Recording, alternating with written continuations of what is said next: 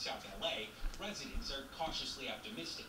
Does it make things better? You got your good officers, you got your bad officers, you got your ones who come in here, who go beyond they bad, you wanna kick your doors in and bust your windows. But never not once the CSP officer did that. And at one of LA's oldest and largest projects, Pueblo del Rio. When you turn on the TV, you see people wanting to defund the police. I think that we need a backup of police officer here to protect us. do you remember a time before they were here? Yeah, What was it like? it was. Good not that- There girl. was a lot of crime. Yeah, a